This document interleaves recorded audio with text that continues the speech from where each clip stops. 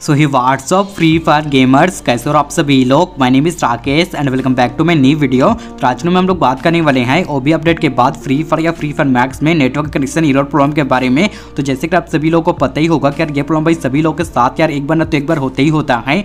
जिसमें यार आप लोग अपने फ़ोन डाटा से गेम ओपन करो या कोई भी क्या, दूसरा कोई वाईफाई या हॉटस्पॉट लेकर गेम ओपन करो। आप लोगों के फ़ोन में यार गेम ओपन नहीं हो पाता है। आप सभी लोग के सामने की देखने को मिलता है। नेटवर्क कनेक्शन ऐसा कुछ नेम का। तो इसमें आप लोग टेंशन बिल्कुल भी मत लो, क्योंकि इसको देखते हुए मैं आज आप सभी लोगों के लिए बना रहा हूँ, जिसमें मैं आप सभी लोगों को ये प्रॉब्लम का हंड्रेड वन परसेंट सोल्यूशन के बारे में बताने वाला हूँ। तो इसी बात पर आप लोग ये वीडियो को पूरा एंड तक वॉच करते ही रहना और वीडियो स्टार्ट करने से पहले, अगर आप लोग ने यार अभी तक वीडियो को लाइक नहीं किया तो क्या करो मेरे भाई? आप लोग यार ये वीडियो को एक भी लाइक करते हूँ ना तो आपका तो कुछ भी नहीं जाएगा। लेकिन यार, हमें जो भी मोटिवेशन एंड खुशी मिलता है ना, वो बहुत ही ज़्यादा ही नेक्स्ट लेवल का होता है। तो यार, इसी बात पर भाई आप लोग ये वीडियो को लाइक करके चैनल में नहीं होंगे तो ऐसे और आगे भी फ्री रिलेटेड हेल्पफुल वीडियो देखने के लिए चैनल को भी सब्सक्राइब ज़रूर से कर लेना।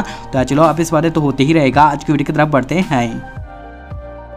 सो so, इस बात करें कि आप लोगों को जब भी फ्री फायर या फ्री फायर मैक्स में नेटवर्क कनेक्शन प्रॉब्लम देखने को मिल रहा है इसको आप लोग कैसे हंड्रेड वन परसेंट सॉल्व कर सकते हो? तो इसके लिए आप लोग अपने फ़ोन के सेटिंग में चले जाना। जाने के बाद यार यहाँ पर आपको जो भी सर्च का ऑप्शन देखने को नहीं मिला है वहाँ पर आप लोग सर्च करना प्राइवेट डी तो आप लोगों को प्राइवेट डीएनएस का सेटिंग देखने को मिल जाएगा। तो इसके अंदर आप लोग आ जाना। आने के बाद यार यहाँ पर आप लोगों को बहुत सारे ऑप्शन देखने को मिलने वाला है। तो आप लोग यार थर्ड वाला ऑप्शन को सिलेक्ट करना और इसके बाद यार यहाँ पर आप लोगों को एक डी को डाल देना है जो कि आपको वीडियो के स्क्रीन में दिखाई दे रहा होगा डी तो जैसे आप लोग इसको कोड को यहाँ पर डालकर सेव बटन को क्लिक करता हो, भाई, आप लोग के फ़ोन में यार डीएनएस कोड अप्लाई हो जाएगा। अप्लाई होने के बाद यार आप लोग अपने फ़ोन को एक बार रिस्टार्ट या रिबूट कर लेना। बस आप लोग इतना कुछ कर लेते हो और इसके बाद यार आप लोग गेम ओपन करोगे तो भाई, आप लोग के फ़ोन में यार हंड्रेड गेम ओपन हो जाएगा। आपके सामने कोई भी sir network connection error problem वगैरह बिल्कुल भी देखने को नहीं मिलने वाला है और इसी ट्रिक से भाई सभी लोगों का यार प्रॉब्लम सॉल्व हो रहा है तो आपका भी हो जाएगा। आप लोग टेंशन बिल्कुल भी मत लो। तो बस यार आज को इतना ही था। अगर आपका वीडियो रिलेटेड और कुछ भी पूछना होगा तो आप लोग मेरे को ये वीडियो का कमेंट सेक्शन बता देना। कमेंट बॉक्स सिर्फ़ आपके लिए खुला है। और अगर आपको ये वीडियो से थोड़ा सा भी हेल्प मिला हो गया वीडियो थोड़ा सा भी अच्छा लगा है